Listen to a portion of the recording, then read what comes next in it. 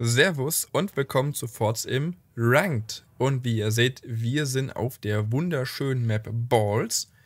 Und auf der linken Seite haben wir einen Spion. Das sind nicht wir. Und rechts, das sind wir mit Warzenschwein.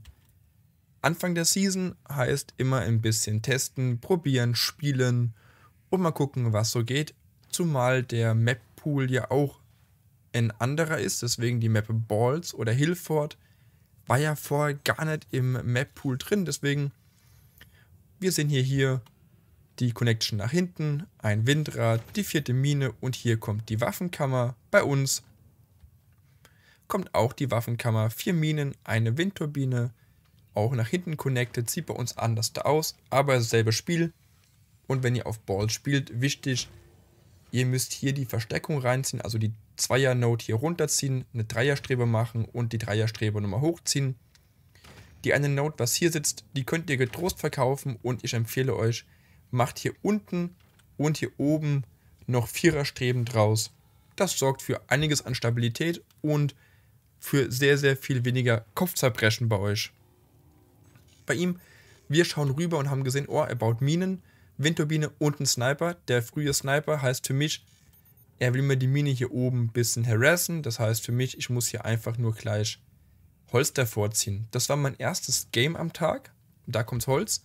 Ich hatte kalte Hände und ich muss ehrlich sagen, ich weiß nicht, was los war, aber ich war ein bisschen nervös. Der Gegner hat mich durch den frühen Sniper hier schon tatsächlich nervös gemacht, obwohl ich mir dachte, es ist noch gar nichts passiert. Bei ihm, jetzt kommen erst die Lager, bei uns läuft bereits die T2. Wir haben nur vier Minen, in Anführungsstrichen vier. Er hat sechse. Und hier kurz rüber geschielt und gesehen, der baut eine EMP. Die EMP erkennt ihr immer an diesem Arm, der rausschaut.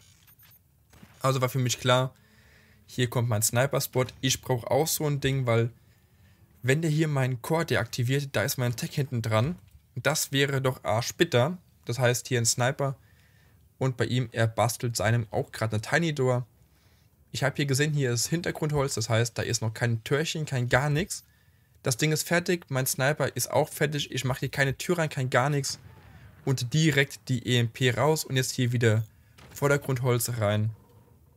Der Sniper seine Aufgabe erfüllt. Wir bauen hier derweil weiter unsere Minen und hier empfehle ich euch auch, hier die Viererstrebe und wenn ihr hier nach oben baut, macht hier raus noch eine Dreierstrebe, einfach hier nach hinten ziehen das sorgt dafür, dass dieses Gewicht, was hier am Ende drauf lastet, ja einfach besser verteilt wird. Wir verkaufen hier unsere Waffenkammer, die werden wir definitiv nicht mehr brauchen. Und bei ihm, die siebte Mine läuft, auch seine T2 läuft. Hm, war halt nicht so gut versteckt, aber alles gut. Und das dürft ihr auch niemals machen, wenn ihr Balls spielt. Platziert eure Waffen nicht hier vorne, euer Core hängt hier vorne. Baut die über der Kugel das Gewicht ist dann auf einer, mh, mm, auf einer stabilen Fläche, die nicht nachgeben kann. Und ihr könnt hier mehr Defense von Core ranklatschen. Das ist wichtig.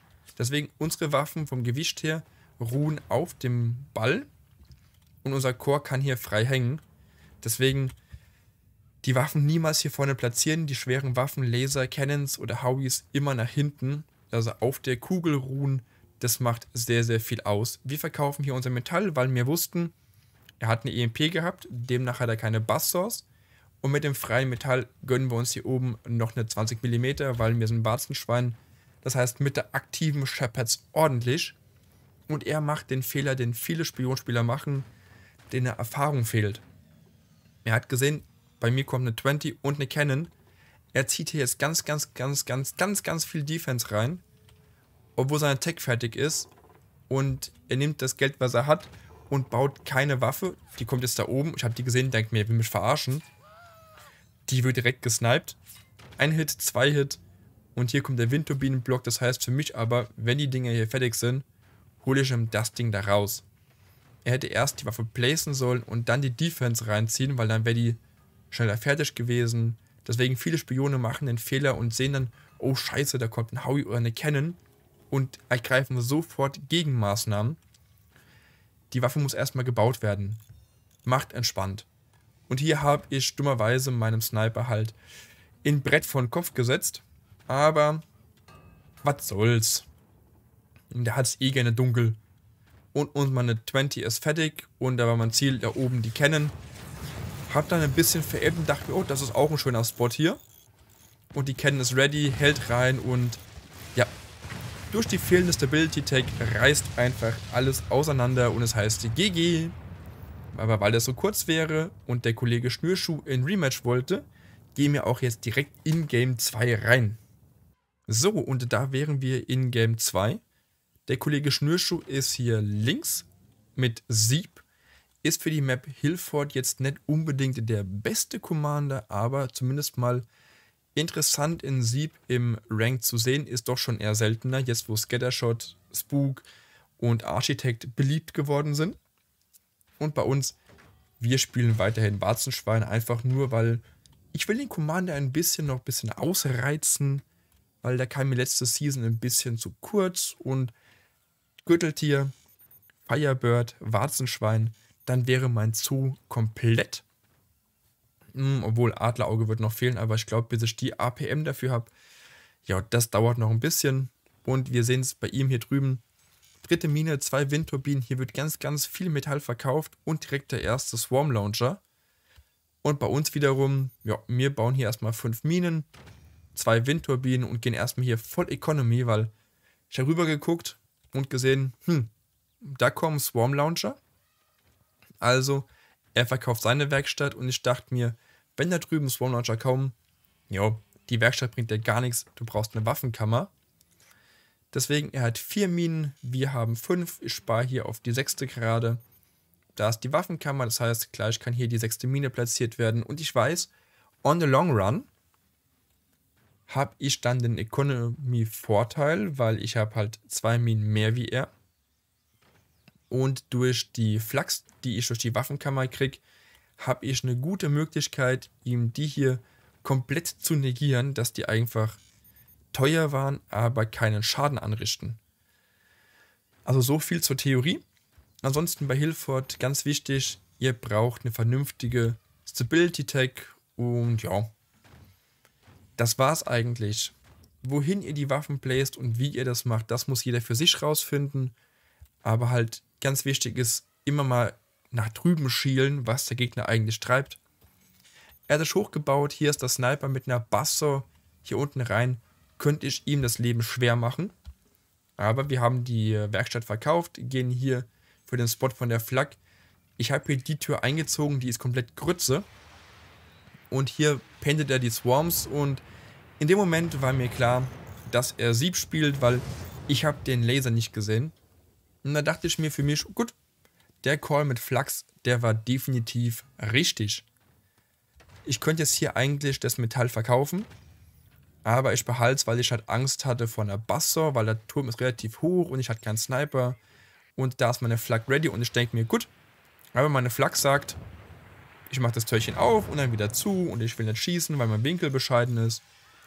Und ich dachte mir nur, ja super, Jetzt muss ich erst warten, bis er sich höher gebaut hat, weil der Winkel von der Flak nicht reicht.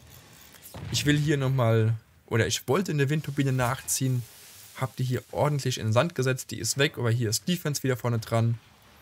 Ich lasse es hier munter brennen, weil wenn ich es lösche, würde die Flak die Geschosse nicht rausnehmen und der Brandschaden ist sehr, sehr gering, wenn der Gegner nicht gerade Firebird ist. Und hier kommen nochmal Swarms. Ja, hier ja, Türchen gehen auf, Türchen gehen zu, keiner schießt, wunderbar. Bei ihm, er geht jetzt hier auch für Stability Tech, hat zwei Windturbinen. Das ist für zwei Swarm Launcher und jetzt für den Nuke relativ wenig Energie. Hier kommt das dritte Windrad und momentan hat er das Heft in der Hand. Aber ich bin entspannt, ich brauche erstmal keine Windturbine, ich brauche erstmal ein bisschen Defense, deswegen hier drei Gunners. Die sitzen tief genug, dass der Sniper aus der Position nicht rankommt. Und jetzt baue ich mir hier einen kleinen Balkon. Ist mehr so eine improvisierte Konstruktion, aber lang für eine Flak und einen weiteren Gunner. Und jetzt fühle ich mich relativ sicher, hole mir hier noch einen Sniper. Der muss natürlich noch eingepackt werden hier mit dem Türchen. Und dann kann ich seinen Sniper rausnehmen. Bei ihm wiederum, er hat gesehen, dass hier Gunner kommen. Deswegen auch der hohe Turm. Zum einen hat er damit die Option, in sehr, sehr hohen Sniper zu placen oder einfach Gunner und dann mit ja, freiem Feuer hier meine Gunner selbst rauszunehmen. So, aber jetzt habe ich hier drei Flux am Start und vier Gunner und bin eigentlich guter Dinge. Da kommen die Swarms. Ich verliere dafür eine Flak. Ja, ist in Ordnung. Ich kann momentan eh nicht viel machen und bei ihm kommt hier oben jetzt ein Gunner. Mit dem Sniper wird weiter angetestet und bei mir kommt nochmal eine Windturbine und hier oben noch ein Gunner. Die Flak wird replaced und dann kann ich erstmal ganz entspannt sparen. Hol mir seinen Sniper raus und jetzt seinen Gunner. Jetzt werden bei ihm zwei Sniper nachgebaut und ich kann mal hier antesten, was eigentlich da überall sitzt. Hol den einen Sniper raus, den da übersehe ich dummerweise. Aber ich fühle mich auch sehr sicher. Drei Flaks, jetzt fünf Gunner, alles entspannt. Hol mir hier noch ein Erzlager und baue den hier so, eine, so einen Winkel, so eine Schießscharte nach oben, damit ja einfach durch einfaches Gunner-Sperrfeuer die nicht direkt rausgehen. Von daher ich fühle mich hier eigentlich sehr gut. Sein Sniper oben ist ready, aber mein Gunner oben ist hinter einem Türchen versteckt, mein Sniper auch. Ja, alles sehr, sehr entspannt. Hier hole ich mir seinen Sniper. Hier hat er eine schöne Tiny Door gebastelt. Und ja, sein Gunner oben geht raus. Jetzt paintet er nochmal die Swarms. Hm, ich bekam ihn nicht zu fassen, seinen Sniper. Aber die Anti-Air steht, von daher alles entspannt. Mit meinem Sniper gucke ich jetzt, dass ich mich hier auf sein Türchen einaim. Und bei ihm, er ist jetzt ein bisschen gefangen in seinem Aufbau, weil Swarms und Nukes sind da. Als Sieb will man das eigentlich haben, aber er müsste jetzt hier eigentlich die Waffenkammer ins Spiel bringen und dann hier oben 1, 2 Smoke Launcher installieren, damit die auch durchkommen. Und das war meine Sorge, dass hier vielleicht so eine Wand entsteht, wo er mich absmoked. Deswegen habe ich mit dem Sniper immer wieder hier oben in die freien Felder reingeschossen, weil die sind rein theoretisch die zwei hier groß genug für Smoke Launcher. Und ansonsten kommt jetzt hier unsere T2. Wir müssen hier irgendwann mal zu Potte kommen. Und jetzt wird nochmal angetestet, nicht, dass da oben doch irgendwo in Smoke Launcher installiert wird.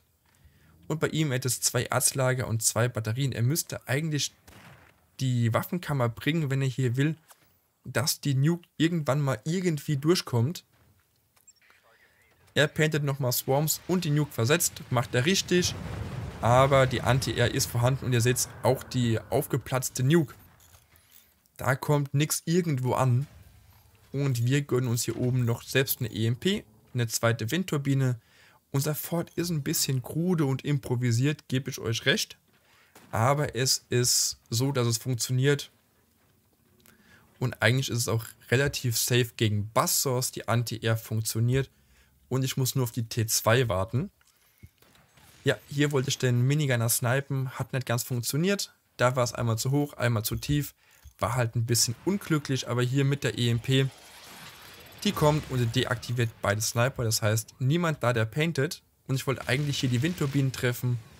Und ihr seht es am ganzen Aufbau. Eine Bassor hier rein. Und das ganze Spiel wäre für ihn schon wieder vorbei. Aber ich habe halt keine Bassor, weil ich sagte, ich will Flachs. Bei ihm kommt jetzt die Waffenkammer. Wie gesagt, die ist wichtig. Hier sein Sniper durch kleine Türchen rausgenommen.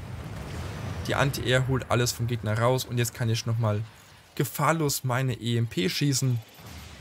Hm, die aktiviert leider nur eine Windturbine. Nicht so prickelnd. Und auf der anderen Seite, ich ziehe nochmal Batterie und Erstlager nach, habe hier die Flak verkauft, damit hier gleich in Howie sitzen kann. Und die nächste EMP fliegt. Und ja, deaktiviert leider gar nichts, weil ich habe diesen Aufbau bei ihm überhaupt nicht gepeilt. Und ich dachte mir, gut, da unten ist auf, ich kann hier wahrscheinlich den Sniper rausnehmen, der sitzt, aber ich kam auf dieses blöde Podest nicht klar. Ansonsten Hillford ist eine wunderbare Map mit ganz, ganz vielen Comeback-Möglichkeiten. Hier die EMP gesniped. Man darf halt bei Hillford nur nicht aufgeben. Manchmal ist es halt echt frustrierend, aber man hat immer die Möglichkeit, nochmal irgendwie ins Game zurückzukommen, weil der Tower sitzt hier und beschützt einen und wenn geht dann nicht gerade ein Turm hat, der bis nach da oben reicht, kann man sich immer noch vor allen Dingen hier auf der Map eigentlich sehr, sehr gut mit Portalen retten. Man muss nur gucken, dass man irgendwie Energie dafür hat. Bei uns kommt hier ein Howie, während bei ihm hier oben eine Flak kommt, die kriegt das Upgrade zur Shotgun und hier kommt eine EMP. Mit der Shotgun kann er mir hier die Gunner einfach rausnehmen. Hier fliegt meine EMP und ich stelle fest, da oben ist nichts drin und ich dachte mir, hättest du jetzt eine Buster, das wäre einfach so schön. Aber hätte, hätte Autoreifen, all das Wünschen bringt nichts und hier weiß ich, er hat eine Shotgun.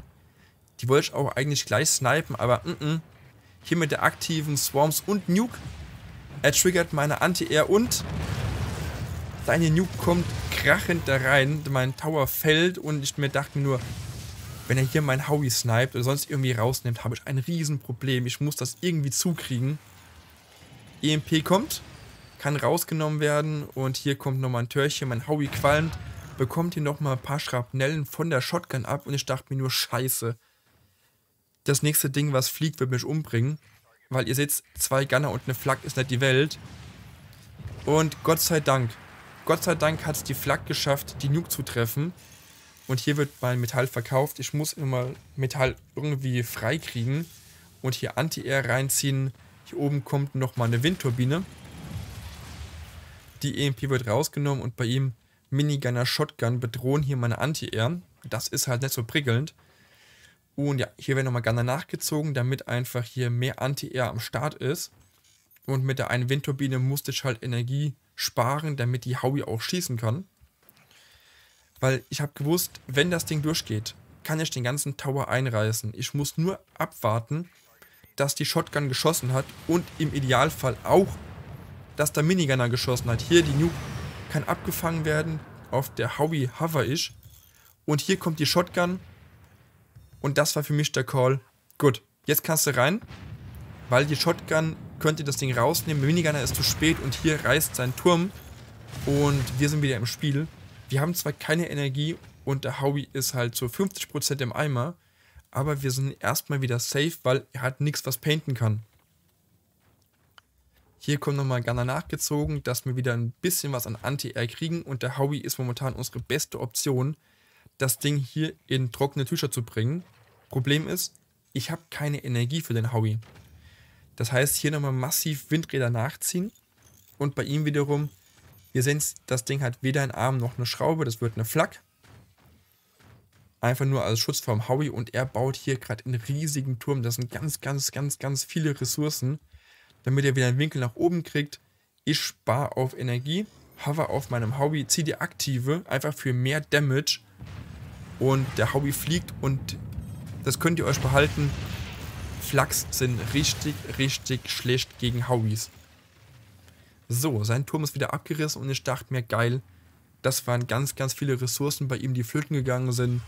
Wir sind noch im Spiel und seine blöde Nuke da unten, die wird uns erstmal so schnell nicht belästigen. Wir ziehen nochmal eine Reihe von Windturbinen nach, haben es gleich sechs Stück und damit sollte der Howie eigentlich gut versorgt sein.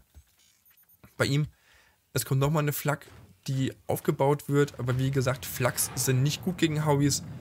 Der Howie-Shot kommt, nimmt die Flak raus und die beiden Windturbinen. Das hat er das Problem, dass er keine Energie hat, während wir wieder gut dastehen. Und ja. Jetzt heißt es für mich nur irgendwie in Mittel finden, dass der Howie auch hier nach unten reingecurved kommt, weil er sitzt leider sehr, sehr tief und nach hinten eingerückt. Es ist schwer, in Winkel zu finden über den Kamm hier drüber, sodass der hier oben drauf droppt. Das ist echt nicht easy. Deswegen hier ein bisschen flacher geschossen, aber nein. Und hier oben kommt eine 20 mm. Einfach nur, weil ich hatte heute ein Game gegen äh, Reis mit Mais. Oh, oder Mais mit Reis? Reis mit Mais oder Mais mit Reis? Ist auf jeden Fall in Twitch-Streamer. Ich packe den Link auch mal in die Beschreibung. Ähm, streamt auf Forts, ist auch echt gut. Und da hatten wir auch ein Game auf Hillford gehabt, wo ich Hurricane gepickt habe. Und habe dann festgestellt, so 20 mm, die sind nicht nur lustig, die sind auch verdammt stark. Also, ich hatte das Gefühl, dass er massiv Probleme hatte mit den Dingern. Und hier bei uns kommen zwei Stück davon. Der hohe Sniper einfach, um die Gunner zu clearen. Weil sechs Gunner, die reichen easy aus, um den Howie zu blocken. Und hier, der erste Gunner geht raus, der zweite Gunner geht raus der dritte Gunner und er trifft mich im Sniper einfach nicht. Ich hole vier Gunner raus. Und jetzt kommt erst seiner und holt meinen Sniper. Und hier nochmal schön den Turm weggerissen. Ihm die Chance genommen zu painten. Mein Sniper wird oben nochmal installiert. Und jetzt werden die erste 20 mm ist jetzt bereit. Hier bei uns kommt noch eine Werkstatt. Das war einfach für die Option auf Mörser. Weil, wenn ich mit dem Howie nicht beikomme, dann hätte ich gerne die Option auf Mörser. Auf dem Sniper hover ich, hole mir seinen Sniper direkt raus. Und jetzt gilt es für mich, den Gegner klein halten, ganz, ganz viele Ressourcen drainen und dafür sorgen, dass er nie wieder ins Spiel zurückkommt. Weil dann kann ich mit den beiden 20s und dem Howie das easy finishen. Weil, wenn da jetzt eine Nuke reinkommt oder eine Bass oder irgendwas, ich jetzt mit, mein Turm wabbelt ein bisschen, und mir das da abschmiert, dann fällt das hier rein und Batterie, Batterie, Core, bumm. Deswegen hier mit den 20s reingehalten. Der nächste 20.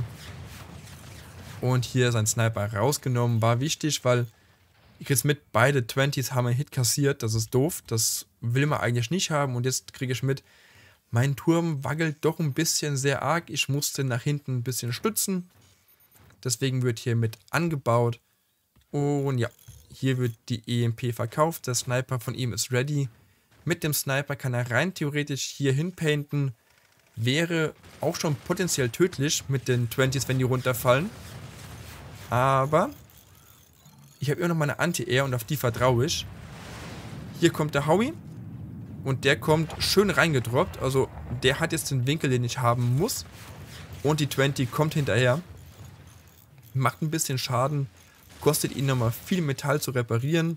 Weil da ging auch ein bisschen was an Metall flöten. Und bei uns ist die aktive mitgelaufen. Das heißt, die 20s haben auch einfach mehr Damage gemacht. Bei ihm er seine aktive, painted die Swarms. Und er konnte die Nuke nicht mehr painten, weil ich mit der 20 seinen Sniper rausgeholt habe. Das ist für ihn saubitter und für uns sehr, sehr gut, weil die Sachen sind dann wesentlich schneller und ob meine Anti-Air die Nuke rausgenommen hätte, man weiß es nicht, man weiß es nicht. Hier kommt nochmal der Howie und der kommt schon als Dropshot. Ja, nochmal ein bisschen Defense rausgenommen und wir holen nochmal mehr Gunner. Einfach damit nichts anbrennt, damit nichts in die Hose gehen kann. Und hier kommt unsere Fabrik, weil die Sache war die, ich wollte oben einen Magna haben und die, auch die 20s hier drüber schießen und mit dem Magna reinkurven, weil oftmals ist hinten wirklich nur Hintergrundholz, dann komme ich an den Core dran, ohne dass ich mich hier durchfräsen muss.